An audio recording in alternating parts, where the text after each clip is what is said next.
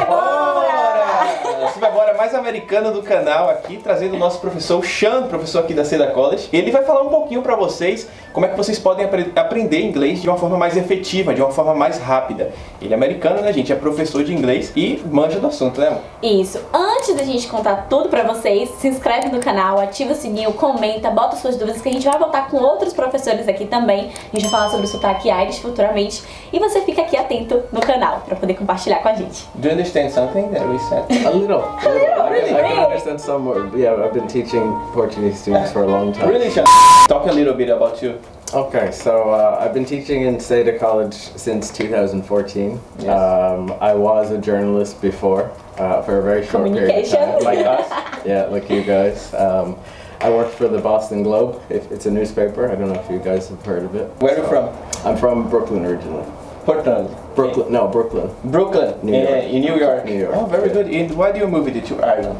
Uh, that's a long story, but the short version. Um, I moved over here studying. I was an exchange student. Yes. And I, I, I liked it and I stayed. Um, I did go back to work for the Boston Globe, as I mentioned, but in the back of my mind, I still wanted to be here. Oh, very good. So how long have you as, uh, worked as teacher? Uh, six years, se- six or seven years now. Six years. So you know are difficult for learning new English. I do. Yeah. So give some tips uh, how introduce the new language in your life.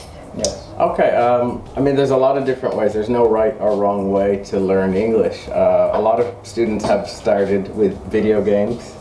A lot of people have started, you know, with watching programs, uh, and that gets them interested. Maybe you watch a program and you can't understand everything that the, the person's saying, and so that makes you more interested. You want to know exactly what they're Yes. saying to learn the dialogue. So. This is a, a good way because a lot of people don't like to read uh, uh, uh, big books, Exactly. don't like to study just grammar. And tell us, uh, now first tip, for example, you said for us that interesting, uh, you choose something interesting, right?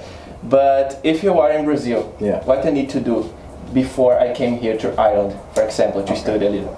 So, if you want to study English, if you want to actually have some sort of formal education, some formal background, I think the best place to start is with your listening and your speaking. Um, those are the two most important things because when you go abroad, you're going to need to, your first experience when you get to the airport, it, everything's going to be in English. So you're going to need to be able to at least understand basics before you come to Ireland. Listen a lot. Listen. Even you don't understand nothing, for Exactly. Yeah. Because everybody said for us, oh yes, I listen a little radios, a little podcast, but I don't understand nothing. Yn making the lambs and always and the sheep just count, count out a nice bit of money like. Eu não entendi o que ele falou.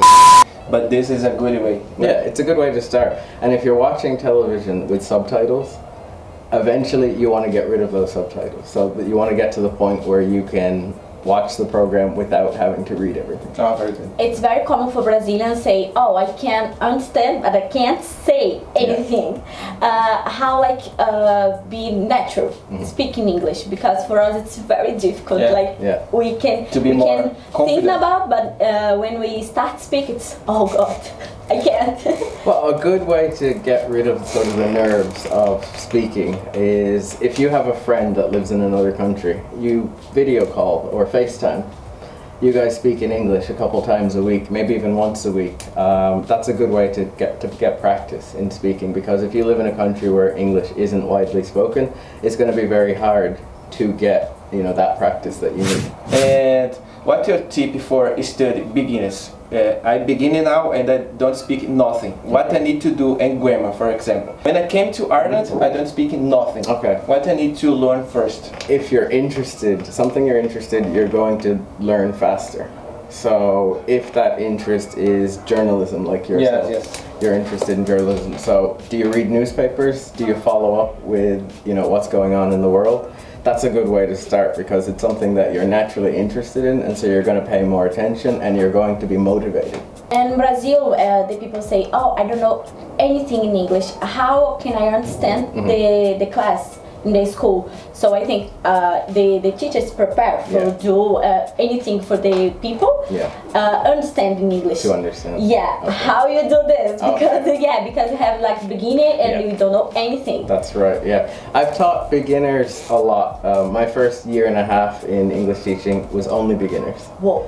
So, and I had, I did have a lot of students from Brazil. Um, a lot of the times, what would help is that they, some of them had no English coming into the class. What would help is if they were not willing to make, not afraid, sorry, to make mistakes. So, if they're not afraid to make mistakes, it's everything's going to be fine because you are going to make mistakes in the beginning. You're not going to come in able to say everything. It starts off with little things like hello, how are you doing? Mm-hmm. And you work your way up. In 6 weeks, you're starting to say things like hello teacher, how, you know, how was your day? How was your weekend? It does it, the improvement is really quick.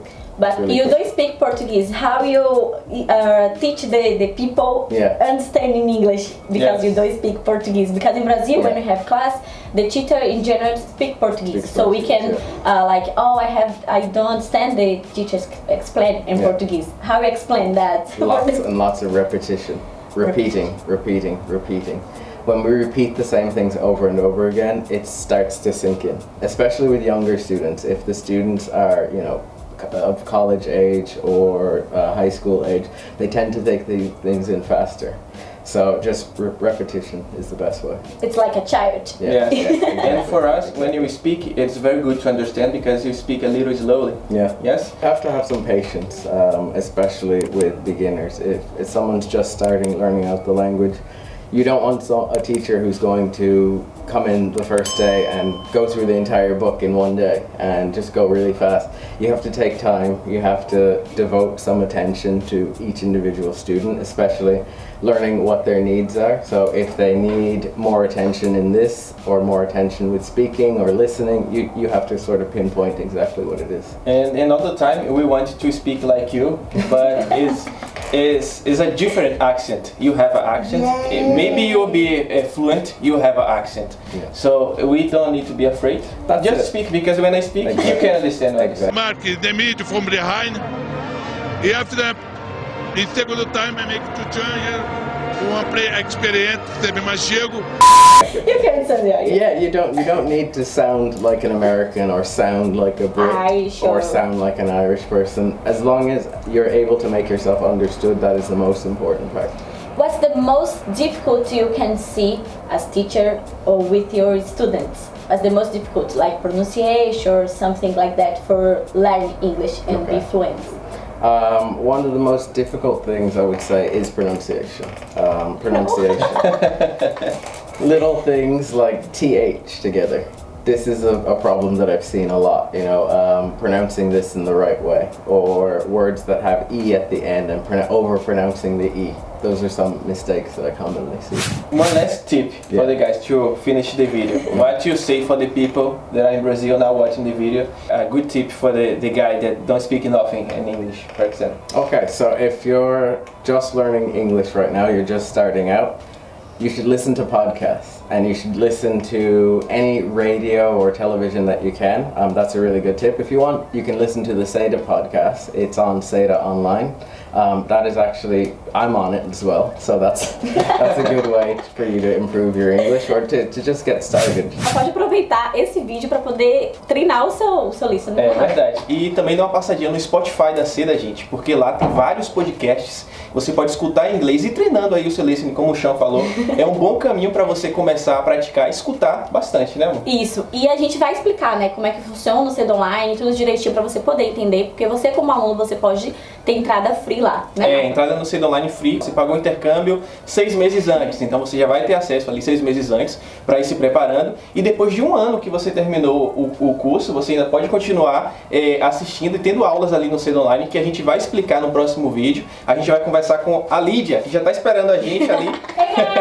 Ela vai falar um pouquinho sobre o Cedo Online, então se você quer ver esse vídeo, continua assistindo. Se inscreve no canal se você não está inscrito e clique em gostei para ajudar a gente na divulgação do canal. Bri- Think so. I, I Change. yeah, Yeah, because yeah, it changed so fast. Thanks a lot for accepting our invitation. Yeah. Thank you, thank, Thank you. you. Bye bye, se vai embora. Bye. Se vai embora.